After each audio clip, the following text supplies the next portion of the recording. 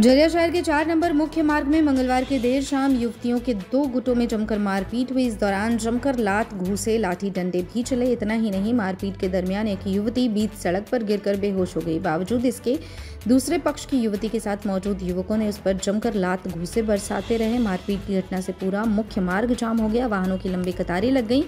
युवतियों में हो रही मारपीट को देखकर हर कोई अचंभित था। हालाँकि राहगीरों ने बीच बचाव कर दोनों पक्षों को काफ़ी समझाया, जिसके बाद मामला शांत हुआ और पुलिस या झमेले में न पड़ने के खौफ के कारण एक गुट चुपचाप निकल गया। वहीं दूसरा गुट वापस रेस्टोरेंट पहुंचकर काफ़ी देर तक हंगामा करते रहे। घटना के संबंध में बताया जा रहा है कि चार नंबर स्थित एक नामी रेस्टोरेंट में युवतियों के दो गुट अपने दोस्तों के साथ पार्टी मना रहा था। इसी दौरान किसी बात को लेकर दोनों में बहसबाजी शुरू हुई। दोनों ओर से गंदी फप्तियों का दौर शुरू हो गया। एक पक्ष ने फ़ोन कर अपने कुछ साथियों को बुला लिया। रेस्टोरेंट में मौजूद कर्मचारी कुछ समझ पाते, तब तक दोनों पक्षों में मारपीट शुरू हो गई और रेस्टोरेंट में शुरू हुई मारपीट देखते देखते सड़क पर आ गई।